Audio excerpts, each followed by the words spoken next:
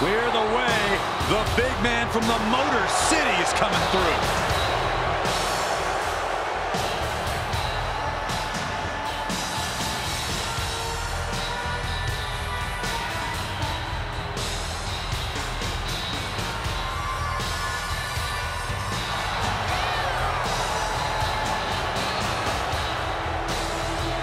We've seen Big Daddy Cool compete in classic WrestleMania matches against the likes of Shawn Michaels and The Undertaker.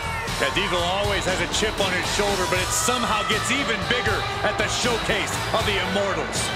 The grandest stage of all is running on Diesel power. Diesel's jackknife is a ride you quite simply do not want to take.